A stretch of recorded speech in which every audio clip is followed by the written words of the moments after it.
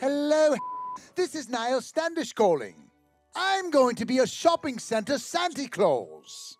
And I need some alterations on a suit. Would that be something you could handle? Uh, should be, yeah.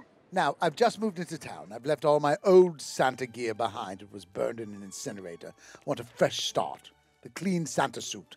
No stains or evidence whatsoever. I'd like the belly to be completely exposed, more like a bare midriff. I, Wouldn't you want to see jolly old Saint Nick's tummy really shake when he giggles? well, I, you know, it depends on who you are. Mm, yes, I'm the Duke of Yankerville. Now, listen, my suit will need a long front zipper just in case a brawl breaks out. I don't like to bloody up the suit. I'd rather fisticuffs in the raw anyway. Hmm. What would be the thinnest fabric that you could make the suit out of? You'd need at least something the weight of a knit. I want something as thin as a spray tan. I don't think that really exists in terms of fabric. There's visual effects that are as thin as a, a spray tan. You know the legend of Santa's surprise pocket? I don't. It's a Dutch tradition where the children would reach into Santa's pocket and pull out a surprise. I want the slit, but no pocket. Do you know what I mean? I don't. I love Christmas, but each Christmas morn I like to throw open my window and yell to the small children downstairs to fetch me the turkey down the street, and I'll give them half a crown. Oh, I just had a client come in. I gotta hold on. Let me talk to him. Let me talk to him for a moment. Uh, this is I'm a potential customer. How do you feel they did with your order? uh, they did really well.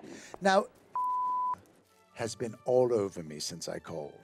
Oh yeah. Now, this is between us. This is between us. She's insatiable, and I love it. I love it. Okay. Now, describe her for me, if you would. No, I'm gonna pass. I got some No, other no, no, stuff no, to no, do, no, but no, I no. I will do it in code. No, no, no. We'll do it in code. We'll do it in code. Listen, would you like to be an elf and come down my chimney? Idiot.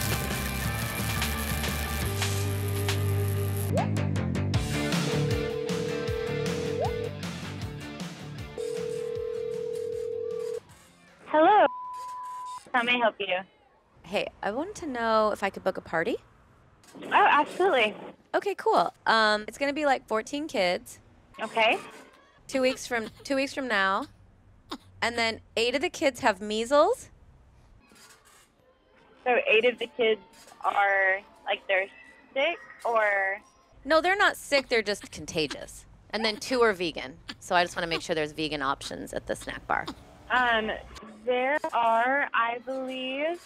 Um, did you say they were contagious? Uh, well, I mean, measles is contagious, but we're just kind of they're writing it out.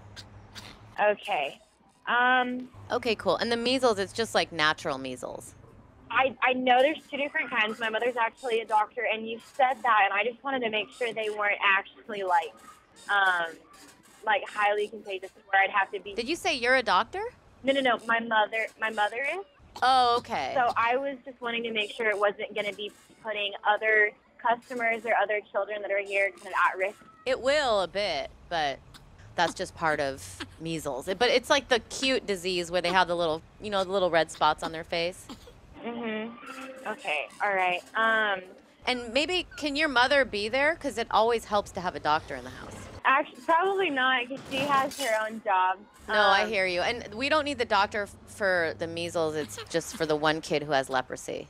Will you actually give me one second? I'm gonna check something real quick. I think we're just gonna come come there now because uh Tonight? yeah. Yeah. So I have a kid that actually just got seriously hurt, and I need to go ahead and like call. Guys, No, get in the van. Okay, I'll see you then. Take care of that little kid. All right. Love you. Bye.